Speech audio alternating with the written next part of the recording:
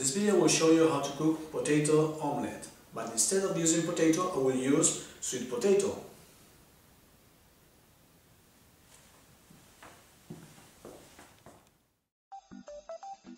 Start breaking and whisking 3 eggs in a bowl and add a bit of salt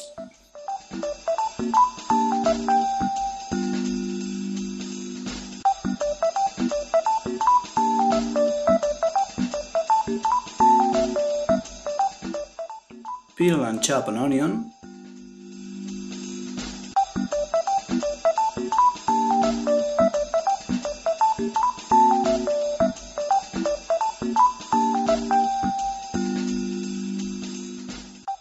Peel a sweet potato, then cut vertically in 4 pieces and cut in slices each piece.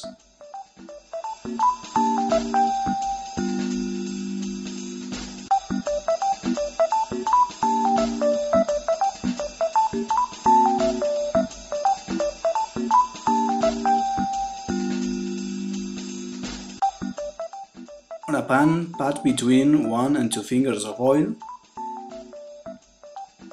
When oil is hot, add the sweet potato and the onion. Move frequently so it gets uniformly cooked and don't get stuck to the pan. Also add salt and pepper. After 10 to 12 minutes it will be ready. Just test one piece, and if it's soft, then it's ready. Pay attention to the pan and don't be distracted. Strain onion and sweet potato and add them to the whisked eggs. Moving them so all the sweet potato is impregnated with the egg. In a pan, put a little bit of oil and when it's hot, add the mixed eggs and sweet potato.